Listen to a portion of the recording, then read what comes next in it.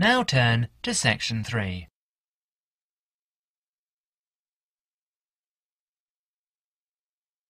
Section 3. In this section, you are going to hear a conversation between Anne and Merton. In the first part of the conversation, they are talking about the commands of training dogs. First look at questions 21 to 25.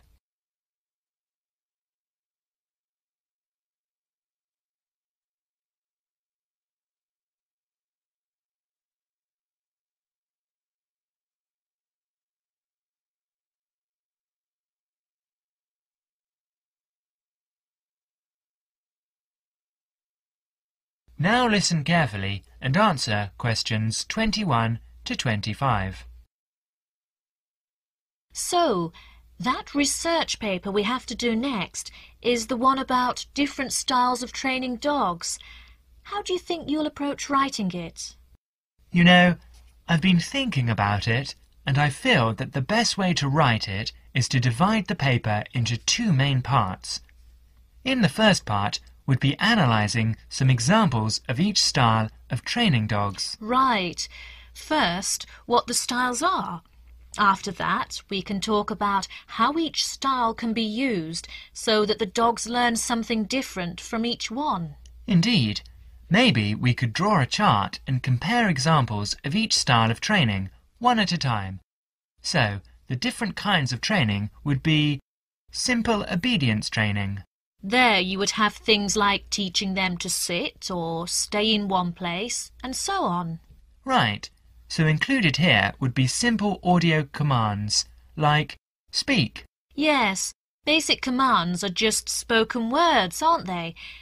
And then there would be the more guard-oriented training, where the dogs are trained to know a specific place well. Patrolling and barking are probably the best examples, because most people have seen them in many places, especially in homes. And this would lead us to the attack dog training, which is physical as well as spoken. Training the dog to knock someone down and even bite if they have to. Right. So there's another category as well. Sniffing dogs, which make up the searching category. I've read that in the UK Every major airport or government building has these dogs to search for all kinds of dangerous items. In the second part of the conversation, Anne and Merton talk about all kinds of training and what kind of dog they are suitable for. You will have another chance to look at questions 26 to 30.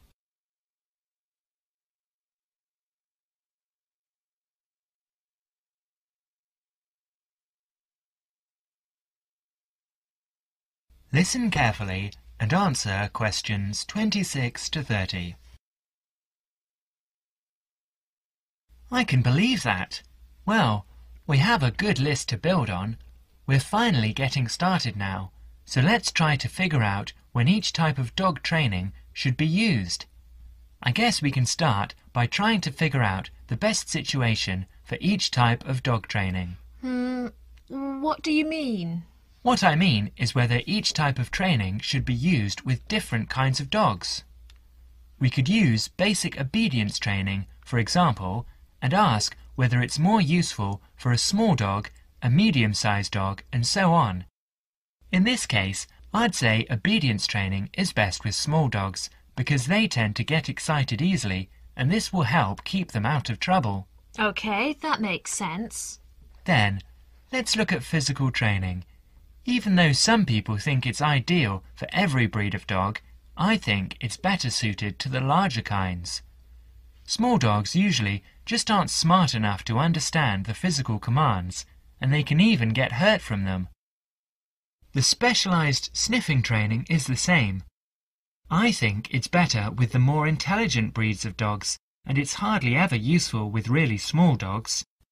Attack training, however, can be useful for every kind of large dog as long as the dog is treated well and given a lot of attention and care. All right. And what about guard training? Barking is an ideal way for small dogs to guard a home. I know they aren't big enough to stop a person, but making some noise is often all a dog needs to do. Other kinds of guard training, like biting, though, are different. I'd always plan to teach that to a smart dog, giving them a chance to use their brains and defend their homes. I'd have to agree. Trainers often just teach large dogs to bark at a person when they think something isn't right. But if the dogs know how to use physical skills in a bad situation, they could save their owner's life someday. Yes, I suppose that different people would have different needs for their pets. Right, and different trainers would recommend different methods for different breeds. That is the end of section 3. You will now have half a minute to check your answers.